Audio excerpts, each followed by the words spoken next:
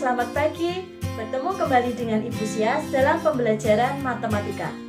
Pada pertemuan kali ini, kalian masih belajar bab ke-8, yaitu bangun ruang sisi datar.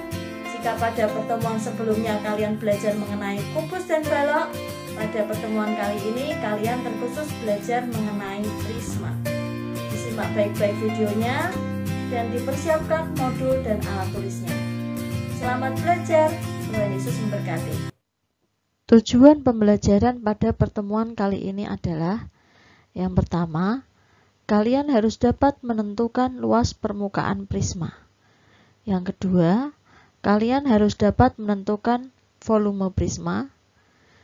Yang ketiga, kalian harus dapat menyelesaikan masalah yang berkaitan dengan luas prisma. Dan yang keempat, kalian harus dapat menyelesaikan masalah yang berkaitan dengan volume prisma. Sebelum memasuki materi ini, Busias ingatkan kembali tentang beberapa bangun datar yang telah dipelajari. Dulu waktu kelas 7 pernah mempelajari tentang segitiga dan segi empat. Bangun seperti ini disebut segitiga, siku-siku ya. Luas segitiga adalah setengah kali alas kali tinggi atau boleh juga ditulis alas kali tinggi bagi dua. Bangun berikutnya berupa persegi. Luas persegi rumusnya S kali S atau S kuadrat. Rumus bangun berikutnya adalah persegi panjang. Luas persegi panjang rumusnya panjang kali lebar. Kemudian bangun berikutnya, jajar ginjang. Luas jajar ginjang dirumuskan dengan alas kali tinggi. Bangun berikutnya berupa belah ketupat. Luas belah ketupat adalah diagonal 1 kali diagonal 2 dibagi 2. Bangun berikutnya layang-layang. Luas layang-layang sama seperti luas belah ketupat, yaitu diagonal 1 kali diagonal 2 dibagi 2. Bangun berikutnya trapesium. Di sini Bu Sis menggambarkan trapesium siku-siku ya. Luas trapesium dirumuskan dengan jumlah sisi sejajar kali tinggi bagi 2 atau dapat dirumuskan dalam kurung A tambah B kali T per 2. Apakah prisma itu? Prisma adalah bangun ruang yang dibatasi oleh sisi alas dan sisi tutup yang kongruen. Artinya kongruen itu bentuk dan ukurannya sama. Banyak sekali ya benda-benda berbentuk prisma yang sering kita jumpai dalam kehidupan kita sehari-hari. Ada tenda, bungkus coklat, slice roti, dan juga bungkus makanan. Penamaan prisma itu sesuai dengan alas dan tutupnya. Pada gambar ini alas dan tutupnya berbentuk segitiga, maka disebut sebagai prisma segitiga. Gambar berikutnya alas dan tutupnya berbentuk segi empat, maka disebut prisma segi empat. Gambar berikutnya alas dan tutupnya disebut segi lima sehingga disebut prisma segi lima. Gambar berikutnya, alas dan tutupnya berbentuk segi enam, maka disebut sebagai prisma segi enam. Unsur-unsur prisma Banyaknya unsur prisma itu berlainan ya karena prisma bentuknya bermacam-macam. Pada prisma segi n memiliki sisi sebanyak n tambah 2, memiliki rusuk sebanyak 3n, dan memiliki titik sudut sebanyak 2n. Contohnya, tentukan banyaknya titik sudut, rusuk, dan sisi pada prisma segi 30. Karena namanya prisma segi 30, maka n-nya adalah 30, sehingga banyaknya titik sudut 2n 2 kali 30 hasilnya adalah 60. Banyaknya rusuk 3N. 3 kali 30 hasilnya 90. Dan banyaknya sisi N tambah 2. 30 tambah 2 hasilnya adalah 32. Luas permukaan prisma. Misalkan ada prisma segitiga dengan panjang sisi segitiganya A, B, dan C. Tinggi prismanya T maka prisma ini jika dibuka akan berbentuk seperti ini. Ini disebut jaring-jaring prisma. Dengan panjang pada bagian sini adalah A, bagian tengahnya C, dan di sininya B, tingginya T. Luas permukaan adalah jumlah luas sisi-sisinya. Sehingga luas pada permukaan prisma adalah luas alas, karena tutupnya sama seperti alasnya, maka dua luas alas ditambah dengan bagian selimutnya ini. Bagian selimutnya berbentuk persegi panjang. Luas persegi panjang dirumuskan dengan panjang kali lebar. Sedangkan panjangnya adalah A tambah C tambah B dan lebarnya adalah T. A tambah B tambah C merupakan ini A tambah B tambah C itu merupakan kelilingnya pada segitiga bagian alasnya.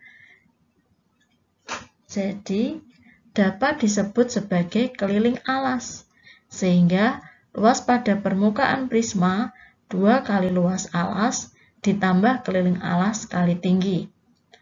Sehingga luas permukaan prisma dirumuskan dengan 2 kali luas alas ditambah keliling alas kali tinggi prisma. Volume prisma Bangun ruang dirumuskan dengan luas alas kali tinggi. Pada prisma, volumenya dirumuskan dengan luas alas kali tinggi prisma. Agar lebih mudah dalam memahami materi ini, coba perhatikan contoh yang pertama. Alas sebuah prisma berbentuk belah ketupat dengan panjang diagonal 32 cm dan 24 cm. Jika tinggi prisma 10 cm, maka tentukan luas permukaan prisma dan volume prisma. Untuk menyelesaikan soal ini, kita tulis yang diketahui. Diagonalnya 32 dan 24 tingginya 10 cm. Kemudian agar lebih mudah, maka digambar terlebih dahulu alasnya. Alasnya berbentuk belah ketupat. Karena yang ditanyakan adalah luas permukaan dan volume, maka dicari terlebih dahulu luas alas dan keliling alasnya. Luas alasnya, karena alasnya berbentuk belah ketupat, maka menggunakan rumus diagonal 1 kali diagonal 2 bagi 2. Diagonalnya dua-duanya sudah ada ya. Kemudian untuk mencari keliling alas, itu sisinya dijumlahkan semua. Di sini sisinya belah ketupat belum ada, maka mencari dulu sisinya. Di sini yang diketahui diagonalnya 32 dan 24. Misalkan ini ke sini 24. Maka separohnya saja adalah 12 cm. Misalkan ini ke sini adalah 32 cm, maka separuhnya saja adalah 16 cm. Sehingga mencari sisinya sama saja menggunakan sama saja mencari sisi miring, yaitu menggunakan teorema Pythagoras. 12 kuadrat ditambah 16 kuadrat. 12 kuadrat 144. 16 kuadrat 256. Sehingga hasilnya adalah 400, akar 400 adalah 20 cm. Kemudian mencari luas alas dan keliling alas. Luas alasnya ber, alasnya berbentuk belah ketupat, maka luasnya diagonal 1 kali diagonal 2 bagi 2. Diagonalnya 32 dan 24 per 2. Maka hasilnya adalah 384 cm persegi. Kemudian keliling alasnya, 4 kali sisi, karena sisinya ada 4 dan semuanya sama panjang, maka keliling alasnya 4 kali sisi. 4 kali 20 hasilnya adalah 80 cm. Kemudian luas prisma, rumusnya 2 luas alas ditambah keliling alas kali tinggi prisma. 2 kali luas alasnya 384, ditambah keliling alasnya adalah 80, dan tinggi prismanya adalah 10. Kalau ada seperti ini yang diselesaikan perkaliannya terlebih dahulu. Jadinya 768 ditambah 800. Hasilnya adalah 1568 cm persegi. Kemudian mencari volume. Volume prisma rumusnya luas alas kali tinggi prisma. Luas alasnya 384 kali tinggi prismanya 10. Hasilnya adalah 3840 cm kubik.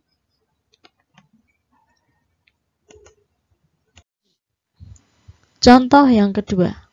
Sebuah prisma tegak alasnya berbentuk segitiga siku-siku. Dengan panjang salah satu sisi sikunya 6 cm dan panjang sisi miringnya 10 cm. Jika luas permukaan prisma 408 cm persegi, tentukan tinggi prisma. Agar lebih mudah mengerjakan soal ini, digambar terlebih dahulu alasnya. Alasnya berbentuk segitiga siku-siku. Sisi sikunya 6 dan sisi miringnya 10. Yang belum ada sisi siku lainnya. Di sini yang belum ada. Maka mencari sisi siku ini menggunakan Pitagoras yaitu 10 kuadrat dikurangi 6 kuadrat. Akar 100 dikurangi 36 maka hasilnya adalah akar 64 adalah 8 cm. Kemudian karena diketahui luas permukaan prisma, maka menggunakan rumus luas permukaan prisma. Luas permukaan prisma maka dicari terlebih dahulu luas alas dan keliling alasnya. Alasnya berbentuk segitiga siku-siku, maka luas alasnya setengah kali alas kali tinggi. Setengah kali alasnya 6, tingginya 8. Hasilnya adalah 24 cm persegi. Kemudian untuk keliling alasnya, tinggal ditambahkan sisinya 6 cm tambah 8 cm ditambah 10 cm. Hasilnya adalah 24 cm. Kemudian dimasukkan ke dalam luas permukaan prisma 2LA tambah KA kali tinggi prisma. Luasnya diketahui 408, maka luasnya diganti dengan 408 sama dengan 2 dikali 24 ditambah KA-nya 24 dikali tinggi prisma. 408 sama dengan 2 kali 24 adalah 48 ditambah 24 kali T. Kemudian 48-nya pindah ke ruas kiri. Sehingga menjadi 408 dikurangi 48 sama dengan 24 kali tinggi prisma. Maka hasil pengurangannya adalah 360 sama dengan 24 kali tinggi prisma sehingga tinggi prisma adalah 360 dibagi 24. Hasilnya adalah 15 cm. Contoh yang ketiga, ada soal cerita ya. Ada sebuah tenda, bagian depan berbentuk segitiga sama kaki. Tinggi tendanya 150 cm dan lebar tendanya 160 cm dan panjang tendanya adalah 4 meter. Yang ditanyakan, tentukan biaya yang diperlukan untuk membeli kain jika harga kain per meter persegi adalah 50.000. Untuk menyelesaikan soal tadi, kita lihat lagi tendanya. Tenda ini merupakan prisma segi 3. Karena prisma segitiga, maka alas dan tutupnya juga berbentuk segitiga. Kemudian jarak antara dua segitiga atau antara alas dan tutup merupakan tinggi prisma. Agar lebih mudah lagi, kita gambar alasnya ya. Alasnya berbentuk segitiga sama kaki. Dengan alasnya segitiga 160 cm dan tingginya segitiga 150 cm. Yang ditanyakan adalah biaya yang diperlukan untuk membeli kain. Kainnya tadi digunakan untuk tenda dan alasnya. Karena untuk permukaannya, maka kita cari luas permukaan prisma. Kemudian untuk mencari luas permukaan prisma, diperlukan luas alas dan keliling alasnya. Untuk mencari luas alas, karena alasnya berbentuk segitiga, maka menggunakan rumus setengah kali alas kali tinggi. Kemudian untuk kelilingnya, maka menjumlahkan semua sisinya. Karena sisi miringnya ini tidak ada, dicari dulu menggunakan segitiga siku-siku yang ini. Maka berlaku teorema Pitagoras.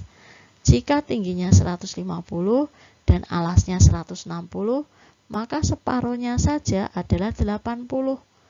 Maka mencari sisinya yang miring adalah akar 150 kuadrat ditambah dengan 80 kuadrat yaitu akar 22.500 ditambah 6.400. Hasilnya adalah akar 28.900.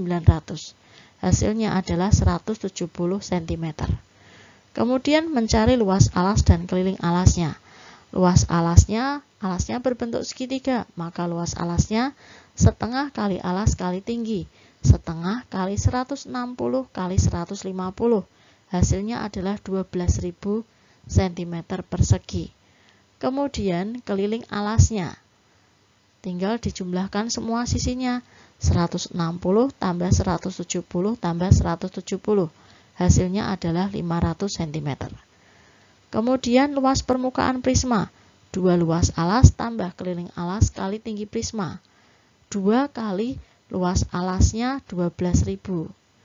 Kemudian keliling alasnya 500 dikalikan tinggi prismanya 4 meter diubah ke cm jadinya 400 kemudian diselesaikan dulu perkaliannya 2 kali 12.000 hasilnya 24.000 ditambah 500 kali 400 hasilnya adalah 200.000 maka luasnya adalah 224.000 cm persegi karena biayanya dalam meter persegi, maka diubah menjadi meter persegi. Sentimeter menjadi meter naik 2. Karena pakai persegi, maka dibagi 10.000. Maka hasilnya adalah 22,4 meter persegi. Kemudian mencari biayanya. Karena biayanya per meter persegi adalah 50.000, maka mencari biayanya 22,4 dikali 50.000 hasilnya adalah 1.120.000